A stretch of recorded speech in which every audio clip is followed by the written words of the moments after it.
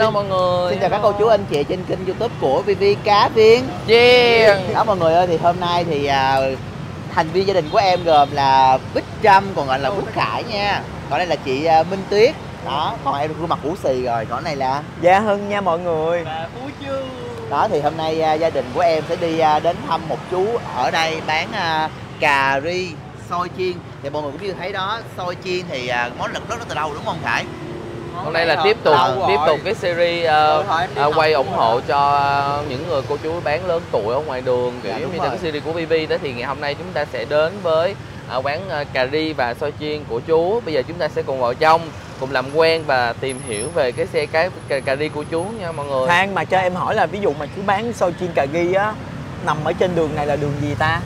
À, Đường này là đường địa chỉ gì? nè, 5531 Hậu Giang Đường Hậu Giang, phường phường à, mà bên kia là phường 12 nha để chị đi lại đây coi kiếm cái cái cái phường.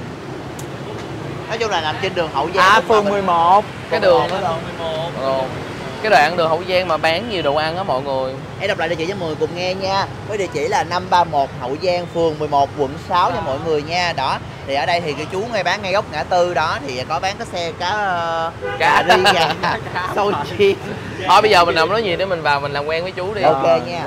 Mọi người ơi, khi mà mọi người đến à, dùng tại à, cà, cà ri gà xôi chiên á Với địa chỉ tại chú này bán là 531 phường 11 quận 6 đường Hậu Giang nha mọi người nha. Để vi chỉ cho mọi người đường rất là dễ đi. Khi mà mọi người đi cái hướng này á là sẽ ngay ngã tư Nguyễn Văn Luông và đường Hậu Giang. Là ngay chạy đi thẳng tới là nhìn qua bên xe bên đây là thấy cái xe chú nằm tại đây luôn. Lia máy của anh chị trường. Đó. Còn khi mà mọi người muốn từ mà quận 5 á thì mọi người phải đi ngang qua cầu à, quận 6 khi mà quận 6 mọi người cứ chạy xích lên là chú nằm ở mé, mé bên uh, tay uh, tay trái cho mọi người nha. Thì có cái xe của chú như thế này này đó thì mọi người vô ủng hộ chú nha mọi người nha nơi đâu cũng có rất là bán nhiều cà ri thì mọi người đó chỉ có duy nhất bây giờ BB cảm thấy thôi nha là chỉ có một tiệm chú để bán là còn chỉ là xôi chiên thôi thì à, nói chung cái món xôi chiên là cái tuổi ấu thơ của cái tuổi của VV cũng vậy đó thì mà là- lại đây mình phải dùng ủng hộ chú nha mọi người nha Vâng, hello mọi người. Hiện tại thì Minh Tuyết và Gia Hưng cũng như bé Trường đã vào bên trong để làm quen với chú dạ. Xin chào chú à. Dạ. À chú có hỏi chú có thể à, giới thiệu tên của mình được không ạ? Dạ chú Hùng hả? Chú Hùng năm nay bao nhiêu tuổi rồi ạ? 55 Ờ chú Hùng 55 tuổi rồi. Thì à, hình như là chú Hùng là người Hoa phải không? Người Việt hả? À, nhìn nhìn mặt Không. cũng giống giống người Hoa. Không nhìn mặt chú giống người Hoa thì mới đầu à con cũng tưởng chú là người Hoa á Mà cho con hỏi một cái nữa là chú bán ở đây là lâu chưa chú? Một Hơn- năm hơn một dạ. năm rồi. Ờ. Ờ, năm. tại ờ, tại vì sao chú lại suy nghĩ mà bán ra hai món cà ri gà với xôi chiên à? Tại vì ở nhà ở, ở nhà chú có bán á cà ri gà rồi ờ, thì chú đem theo chú bán luôn nhưng mà À vậy hả? Với là ở nhà cũng có bán đúng không chú? Vậy là Ờ, chú thường thì ờ, cái giờ hoạt động của chú bán là mấy giờ đến mấy giờ? tám mà rưỡi tới hai giờ khuya 10 giờ rưỡi hả? tám mà rưỡi 8 giờ rưỡi, 8 giờ rưỡi tới 2 giờ khuya. tám giờ rưỡi á Dạ 8 giờ rưỡi tối hả? Dạ thường là có một mình chú ra bán hả? Có ai phụ không? không không Không ai phụ đâu. Dạ thì ờ, với mọi người thì ờ, thì cái giờ hoạt động của chú là từ tầm 8 giờ rưỡi cho đến 2 giờ khuya thì trong khoảng thời gian đó khi mà các chị em nào mà mình đang ở gần quận 6 á nếu mà ai mà mình mình muốn nửa đêm mà mình đói bụng hoặc là thèm cà ri á thì mọi người hãy ra với địa chỉ ở ờ, 531 đường Hậu Giang dạ ủng hộ cho chú Hùng nha mọi người nha vậy hả? Chú Hùng có mấy người con? Một đứa thì chờ cho cái một đứa. Ủa mà cho con một hỏi. đứa nhưng mà nó nó- nói với thầy Dạ, bây giờ thời buổi bây giờ kinh tế rất là khó khăn nha Nuôi một đứa con đi học đại học á Là cả một vấn đề luôn nha mọi người Không có đơn giản đâu. ở nhà thuê mà. Vậy hả? Chú ở nhà thuê luôn hả?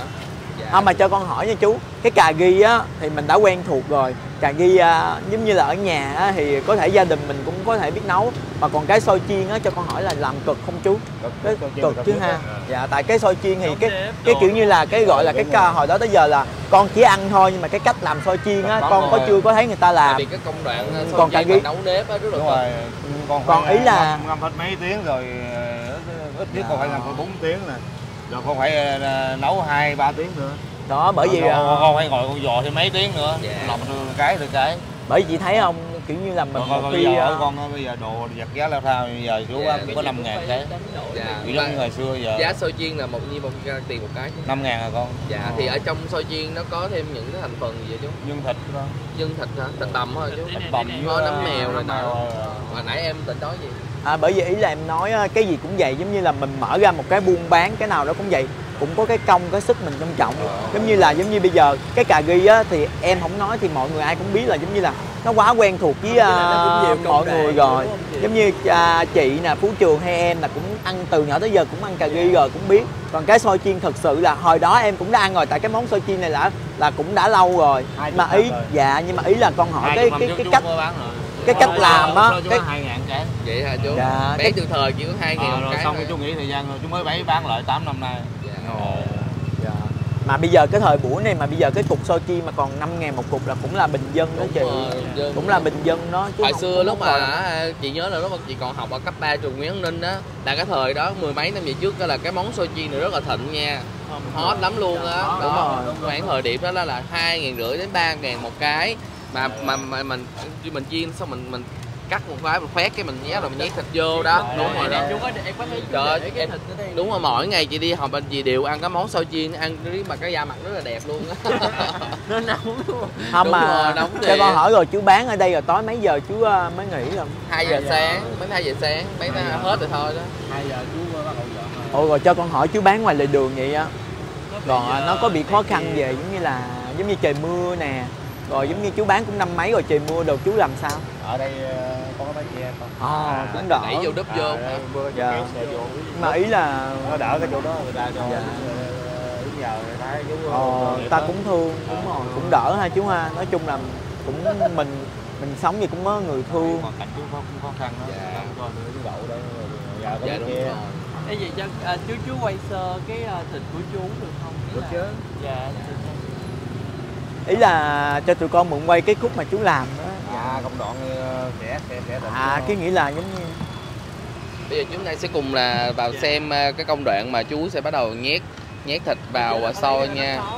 đúng rồi tại vì ờ, chú bán ngoài mà sợ đường khói bụi á cho nên chú phải để ở bên trong để đảm bảo cái vệ sinh cho mọi người nha mọi người. Dạ đó chú cũng rất là kỹ đang nha. coi những cái động tác là chú làm đúng không chị? Đúng rồi bắt đầu chú sẽ nhét thịt của tụi tụi mình ăn bao nhiêu phần thịt bây giờ 5 ngàn một cái. Năm ngàn một cái. Trước mắt mình. Mình cứ lấy 10 cái trước đi. ờ 10 cái đi. Rồi của con là một phần à, cà ri với lại bánh mì nữa nha. Mười mười cái xôi đúng không? Đó bây giờ Đó. coi chú nhét vô nha mọi người nha. À, cái món này là em nghĩ là nhìn cái đó cũng là chắc nhớ hơn ngày một xưa chục đi năm học rồi ghê đúng không? hả gì? Cái món này em nghĩ là chắc hơn một chục năm rồi đó. Đúng rồi mười Hai mấy là năm mười mấy hai mươi năm rồi. ứ. lúc chị mươi còn học cấp ba chứ quán Nguyễn Ninh đó là đã có hồi cái thời đó là là món này thịnh lắm. Từ khoảng hình như là năm 2005 tới 2006 đó. Là khoảng thời gian đó là món này rất là hot luôn. Ủa vậy là cái này là chú chiên rồi đúng không? Chú chỉ bỏ thịt ra là bưng Ờ, ra chú- thôi. chú vừa vừa vừa vừa À. vừa chưa xong đó. À, con, thịt làm chín rồi. à em lại tưởng là giống như là chỉ bỏ thịt chiên chung với thịt À, thôi. chiên chiên. còn có- hàng chi con con nói ủa sao chú xịt tương ớt vô? Nếu mà mình thì ăn nó sẽ dễ bị ngán Ờ. thứ hai nữa là, là bị bể thịt nó sẽ chảy ủa vậy là cái món này mình kèm ăn với tương ớt thôi phải không chú đúng rồi. ngoài ra đâu có chấm cái cái gia vị khác không đúng rồi thường là chỉ ăn với tương với tương tương ớt thôi chị nghĩ có người ta bên uh, trang súp cà vô súp vô nước súp Dạ. cà hoặc là mình cũng có thể ăn với lại à, tương xí muội á Ờ đúng rồi tương xí muội nha. Yeah. Xí Xí muội. Hồi xưa em hay ăn cái này với tương xí muội, nãy giờ em không nhớ cái tên nó luôn. chứ có chỉ ăn tương ớt thôi dạ rồi à, chú đứng bán gì có ai phụ chú nữa không? Hay là có mình chú thôi? Có mình chú à hả? Nói chung là bán cũng uh, Lai gai thôi. vắng là thôi mà bây giờ nói chung là vì cuộc sống mà đúng không? Ai cũng sẽ khó khăn nhưng mà con ờ, cũng chúc cho chú Hùng nè lúc nào cũng nhiều sức khỏe ha. Và bán sẽ ngày càng nhiều thực khách ờ, biết đến mình hơn sẽ ra ủng hộ cho chú Hùng nhiều hơn để chú Hùng có ờ, kinh phí để trang trải cuộc sống. Thì cái quan trọng nhất là có thể nuôi cho một ờ, người con gái ăn học thành tài à, hy vọng là sau này bé ờ, học xong đại học á lúc đó là chú là sẽ hưởng phước nhiều hơn ha. Cố gắng lên nha. Dạ cảm ơn chú. Bây giờ thì chúng ta sẽ chuẩn bị thưởng thức những món ăn của chú Hùng nha mọi người. Dạ. Thì à, con con nói chung là tụi con đã đi quay thì tụi con cũng mong là sau, sau cái clip này á nếu mà mọi người có coi trên clip á mai ở gần quận 6 á thì cứ ra ủng hộ chú Hùng giùm à, tụi em nha. Chú Hùng Đó. bán trên cái đoạn đường cũng rất là dễ kiếm nha mọi người nha. Một cái, cái, cái, cái khoảng tầm giờ này đúng rồi gần gần ngay ngã tư mà đối diện xéo qua là Honda đó. Ủa cái ngã tư đường này là đường Minh Phụ không chú? Hậu không. à Hậu Giang với Nguyễn Văn Luôn nha mọi người nha. Đó rất là dễ tìm luôn. Bây giờ Gia Hân có muốn chia sẻ gì với chú Hùng nữa không? Thì à, nói chung là em nghĩ đứng nè nói chung là em cũng là người ít nói lắm. Thì qua cái clip này á nếu mà con quay xong thì con mong chú là giống như mọi người tìm hiểu được coi được cái clip của VV cá viên chiên rồi đó. Thì nếu mà có ai mà thèm xôi chiên Đúng hoặc rồi. là thèm cà ri gà đó thì cứ việc ra ủng hộ chú Hùng giùm em nha mọi người. Em cảm ơn mọi người nhiều. Thì giống như là nói chung là một người thì ít nhưng mà chụm lợi nhiều người á thì sẽ được nhiều người ủng hộ chú là cho chú á. Kiểu như là kiếm à, kiếm tiền sinh hoạt à, sống qua ngày thôi. dạ dạ đúng rồi. Với lại em nghĩ tại vì tụi em đã từng là dân buôn bán lề đường tụi em biết bán lề đường gì chứ nó rất là cực nhọc Đúng lắm. Rồi. nhất là cái thứ nhất nữa. là cái mùa mưa là cực nhất. Em nói thì cái mùa mưa rất là cực luôn. Thì mùa mưa là cứ sợ là nè, nè bây giờ cái cái cái cái cái chỗ chú là giống như là con nghĩ là chỉ là đựng được che được một cây dù thôi đó. Đúng không che được một cây dù mà cái bếp như vậy là bảo đảm sẽ tạt vô liền. Đúng rồi. Tạt mà chiên mà như vậy là nó rất là khó khăn luôn. Nó hao ga đó Dạ, đúng rồi. lâu chín nữa. Tại vì ngày xưa mà thu phương nó bán lề đường em biết mỗi lần trời mưa là cực lắm chị. Đứng mà chỉ nép vô vậy nè mỗi lần trời mưa mà lúc đó sợ bán vắng là cái thứ nhất. Cái thứ hai nữa là mỗi lần mà chiên á cái đứng nép vô nè đúng mà rồi. đợi tầm mưa xong mới lôi đồ ra chiên. Đó thì giống như là em cũng hiểu như vậy. Đó, bà vậy hy vọng là mọi người sẽ à, thông cảm và hiểu cho cái hoàn cảnh và ai cũng không ai mà mong muốn mình ra bán gì đâu. Nhưng mà vì cuộc sống mà nếu mình không bán thì làm sao mình có kinh tế để mình trang trải cuộc sống đúng không? Bởi vì hy vọng là mọi người sẽ à, à, biết đến cái clip này á, thì mọi người sẽ dành nhiều tình cảm đến ủng hộ cho chú Hùng à, bao nhiêu cũng được nhưng mà em nghĩ là cái món xôi chiên á thì à, cũng đã lâu lắm rồi chắc có lẽ nhiều vị khách thực khách cũng đã từng ăn qua và cũng lâu rồi hiếm người bán là cái món này lắm cho nên là ở đây cũng là một cái địa điểm mà để mọi người cùng ăn lại cái món xôi chiên này và nhớ là những cái ký ức ngày xưa giống như em mình bản thân em vậy đó. Và bây giờ thì à, mời mọi người sẽ cùng vào trong mình thưởng thức món à, những món ăn xôi chiên với lại cà ri của chú Hùng nha mọi người nha Đây là những món ăn đã à, ra lò cho mọi người nha bây giờ. Mời các chị em cùng nhau mình sơ mình cảm nhận của chú cho mọi người nha. Và đây là món cà ri của chú nha mọi người nha. Thì à, đầu tiên là Minh Tuyết nhìn thấy là cái màu nước cũng rất là trong nha mọi người nha. Đó, này chính ngon nha. chi tiết? Thì không biết nữa. Không biết chú có hỏi giá. Một lát mình Bây giờ ăn xong rồi mình ăn đếm trước. em ăn xôi nhưng mà ở kính lão đất họ cho ăn trước đi. Bây giờ mọi mọi người cùng ăn chung nha, mình ăn mình cảm nhận thôi em ăn xôi cho. Thôi. Thôi ngon nha mà chị ăn trước đi. Ăn đi được rồi. Thì thôi em ơi, bẻ rồi này kìa em sẽ ăn một miếng nữa thôi ngon ngon quá à. xôi ngon là nóng mà dẻo ôi. Ngon nha. Mẻo nha. Thôi bây giờ chị Vivi ăn cà ri trước đi rồi cảm nhận đi. Bẻo thôi ngon quá. Còn em ấy cảm nhận món xôi vừa giòn mà thịt đó chú làm cũng vừa ăn nữa rồi là chú thịt một miếng tương ớt vô nãy á cũng có một miếng gia vị ăn nó cũng ok nha mọi người. Đi anh vô camera. Anh vô camera. Đau quá ơi, Cái nước ờ, cà ri rất là đậm đà nha mọi người nha. Thơm ghê em nói là em nghe mùi thơm quá. Tại vì thật sự ra món cà ri là món mà chị rất là yêu thích luôn. Có nghĩa là chị chị nói với mẹ má má mi của chị á là má con có thể ăn cà ri suốt tuần luôn cũng được nói không hiểu sao nhưng tại là chị thích cà ri hơn là bò kho nói thật sự là ngày hôm nay á, thì à, em à, quay chú này là cũng do Trinh trợ duyên cho BB đã chỉ chú này tại à, trên đường Hậu Giang á trời ơi, à, Trinh ơi quay đi cà ri chị Vi nó ok cũng quay cà ri cho em nha đó. Bây giờ đến đây có xôi chiên luôn. Mà Trinh nó không biết bán xôi chiên. Em em biết là bán hai món mà em không nhớ là xôi Tại vì dù như nó chạy ngang qua nó không để ý á. Dạ, bạn ăn chỗ này chưa? Ăn rồi thì em thấy là chú bán ngon nhưng mà có điều chú bán khúc này hơi bị vắng.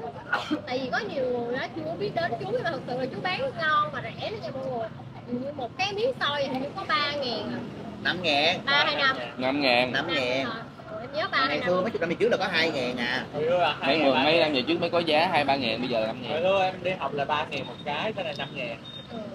Bây giờ ngồi ăn mà mà có nhiều chỗ khác bán mà con sao chiên mới 10 ngàn luôn á. 7 ngàn, chối gần đá giới là như 7 8 ngàn đó trời ơi, không có giá năm Nè, ngàn bây đâu. giờ thử ăn xôi chiên mà ăn vô đi ăn một lát rồi cảm nhận đi. Cái xôi cái vị xôi nó ngọt ngọt. Ừ, ngon chú làm ghét đó. phải trời thì có ăn vậy á Vi nhớ lại tới ấu thơ của mình ngày xưa á. tuổi thơ Ba tuổi thơ. á. Đúng rồi hồi nãy chú nói cái món này gần hai chục năm có rồi mà đúng rồi cái thời đó chị còn đi học uh, trời ơi hai chục năm về trước rồi mới mình mới có 14, 15 tuổi chứ nhiều Đúng vậy, năm 2004 tới 2006 á hai lẻ tư là cái thời đó là em còn đi bán giấy giò nữa. Tại lấy cái thời đó em em 2004 em mới tin luôn á. à chợ mai bán với giò.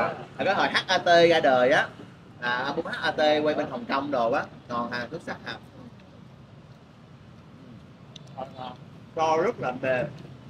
Đúng không kênh bên trong cái là nó ngon quá tin. Em tính ăn một cái Ở ngoài thì giờ- quá ngon. cái cục thịt gà của chú nó rất là nạc nha mọi người nha. Ủa sao em quay xa quá vậy ủa?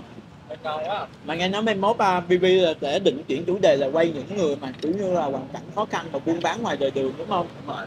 Đúng rồi thì cái chú này là chú đầu tiên hay là sao? Không mấy tập rồi. À, mấy tập rồi. Đây là trong series đó. Trong trong trong cái chuỗi series của tao thôi hiểu không? à là có nghĩa là giờ tao hiểu rồi có nghĩa là mai mốt mày sẽ kiếm những hoàn cảnh à, mà buôn bán khó khăn cơ nhở thì bây giờ được à, bé Trinh đây chợ. Giống như hỗ trợ là chợ viên giới thiệu chú này đó phải không? đúng rồi đó thì à, mong cô chú các anh chị nhớ đón xem clip trên kênh của BB Cá Viên Chiên thì mọi người cũng nói em thì à, cũng không có mang tính chất thương mại gì hết. Thì mọi người xem clip em em có lượt like và lượt xem, thì giúp em có động lực để em đi làm youtube. Còn các chị của Phương có cô chú bán ngoài đường giống vậy thì mọi người cứ lại địa chỉ em sẽ nêu lên gắn tiếng kim địa chỉ ở dưới cái màn hình ở dưới á. Thì mọi người nhớ tới đó thì à, ủng- hộ các cô chú các cô chú bán cho mọi người nha. Thì em cũng không biết nói gì hơn nếu mà à, BB như vậy á, thì à, nói chung là BB cũng sẽ nếu mà BB bả là nói cái câu mà quay cho những người mà giống như cô chú cơ nhở á, là cái có gọi là quay là cũng là giúp cho cô chú rồi. Thì em cũng mong là mọi người xem clip của BB thì mọi người nhấn một nút like và chia sẻ cho BB để sau này có động lực làm clip và tìm lắm. giống như chợ viên còn nếu mà ai mà có biết cô chú nào ở đâu nữa thì cứ comment ở dưới á. Comment ở dưới cho BB đi rồi BB sẽ đọc comment rồi BB sẽ tới chỗ đó quay cho mọi người coi nha mọi người. Dạ bây giờ thì em sẽ nhắc lại uh, một lần nữa là ở khung giờ của chú Hùng bán là từ tầm giờ 8 giờ rưỡi cho đến 2 giờ sáng và gần quán chú Hùng thì cũng có à, bán à, nếu mọi người đang ăn á, mọi người khát nước á thì có thể uống rau má với lại nước mía của hai vợ chồng của anh chị bên kia rất là dễ thương nha mọi người nha. Ừ, đó. Cho nên là uống quá vậy. Dạ cảm ơn mọi người.